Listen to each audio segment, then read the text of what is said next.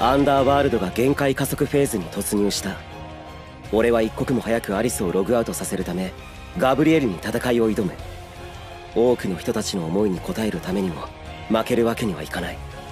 しかしガブリエルは圧倒的な力であらゆる攻撃を跳ね返し俺を追い詰める。